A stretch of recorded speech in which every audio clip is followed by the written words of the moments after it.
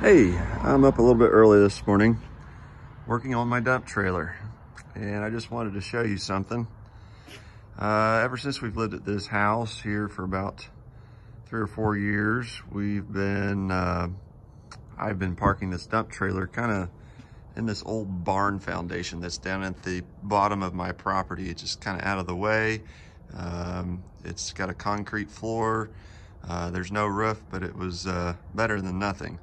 The only problem with that is we've got a bunch of trees down there. Can't show it to you right now, it's dark out, but a bunch of trees down there and it's just a haven for uh, field mice, um, chipmunks, and all these vermin.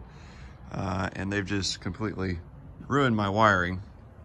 And the reason I found this out is I uh, started uh, charging my dump trailer battery and uh, my wires started melting. So we had a short to ground. Uh, I quickly found that a lot of these wires were stripped. They've been eating the uh, insulation off of them. I mean, you can see kind of this stuff right here. I mean, that's just a small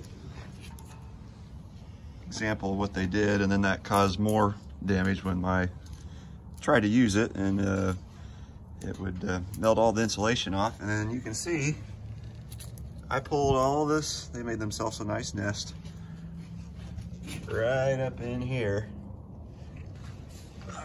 sorry, I guess you can't see that, but uh, that's basically where my, uh, they made a whole, they made a nest right up inside this channel of steel here, right where all the wires go. So that's great. So uh, word to the wise, if you're storing your dump trailer outdoors in a more nature-like area, uh, it would be a good idea to maybe try to seal up. Uh, I mean, this tra trailer right here, it's a Sure-Trac 7x14. Um, it's a well-built trailer, but it's it just got these uh, rubber grommets here, which would work in most situations.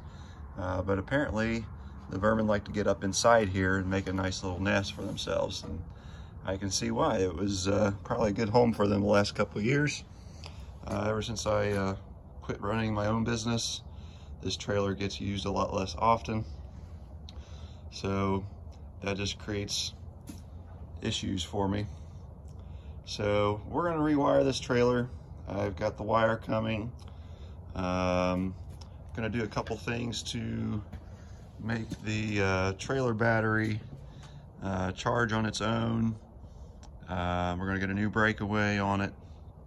Um, and then uh, possibly, I'm not even sure what we got here on the back. If we got LEDs or regular old uh, incandescents. looks like that one's an old one.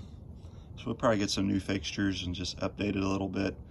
Um, I might consider uh, doing something that's a little brighter for a backup light too, uh, because it seems uh, like when I use this trailer, it's a lot of times when it's dark out.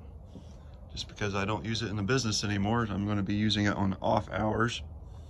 It just tends to be early in the morning or late in the evening. So, and we need to clean it up a little bit. You can see just sitting under those trees and stuff, we got a little bit of algae growing, just a little bit crusty. So I'll keep you guys updated. We'll get it all uh, we'll get it all uh, fixed up here. I had a friend rent this uh, trailer here last weekend and um, it was helpful to him because he could dump his brush, but uh, he needs lights. so we'll get that fixed up. Thank you guys. Bye.